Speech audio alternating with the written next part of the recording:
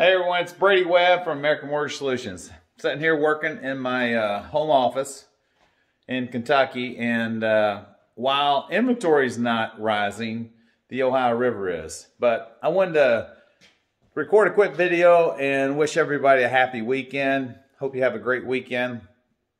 It looks like it's going to be nice, but um, I also want to reach out to you and talk to you about some things that we're going to be doing, hopefully to try to help you and some of your clients. So we're going to be inviting you. I've been a, a, certified, I took a class about two years ago and became a certified divorce lending professional. And I've worked with divorce clients for quite some time, divorce attorneys, mediators.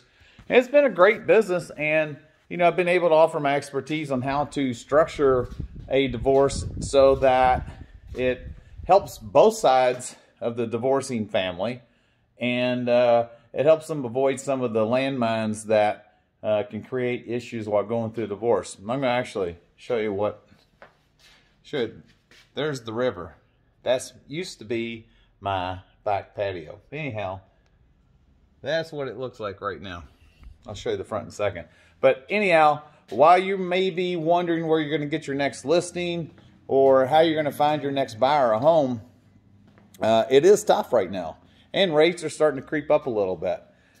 So I'd love this if you know if you want to sit down and talk, I'd love to sit down and talk to you and give you some ideas on some things that you might be able to do to help uh, keep your transactions from declining. One of the things that I would do is immediately start calling your database, your past clients. Uh, call your sphere of influence, friends, family, Facebook friends, whoever it is that you have. Everybody has a database, whether it's your Facebook account or past clients call them up and ask them, hey, are you thinking about selling this year? Do you who do you know that's thinking about selling this year? And if they don't know, that's okay. But just ask them, can you can I count on you to call me or let me know, or can I count on you to have them call me when you run into somebody that's thinking about selling or buying? But anyhow, uh, keep an eye out. We're going to be inviting you to some of these uh, lunch and learns, these classes that we're going to be uh, holding each week, kind of like our agent mastermind classes we do on Tuesday at noon. Hopefully, you're getting those invites. If not, let me know.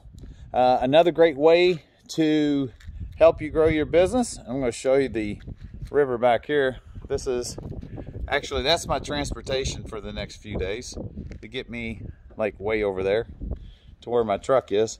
But um,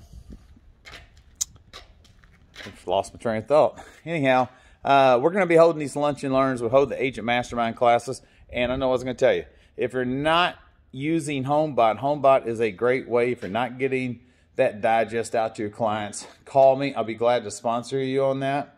Uh, but that's a great way to also help generate uh, some additional value for your past clients and business.